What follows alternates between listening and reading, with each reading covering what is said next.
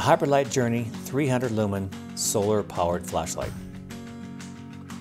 It charges your cell phone. It's waterproof and it floats. The flashlight only weighs four and a half ounces. It runs 50 hours on a full charge.